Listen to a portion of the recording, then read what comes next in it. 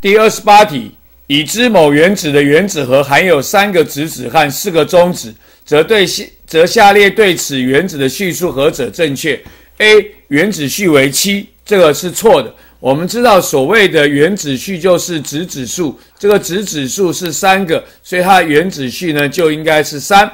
那么 C 选项有四个电子，这个也是错的，因为正常情况之下。呃，原子不带电，也就是所谓的质子数呢，会等于电子数，所以质子数有三个，电子数也应该是三个，所以这个写四个是错的，它应该是三个。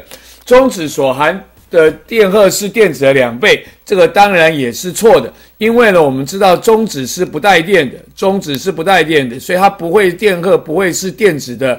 两倍，所以这个也是错的。所以呢，我们只有 B 是对的，质量数是七。因为所谓的质量数就是所谓的质子数呢，再加上总谓的中子数，叫做质量数。这个质子数是三，中子数是四，三加四呢会等于七。所以呢，我们的 B 选项是对的。所以第二十八题，我们答案呢选的是 B，质量数为七，这个是对的。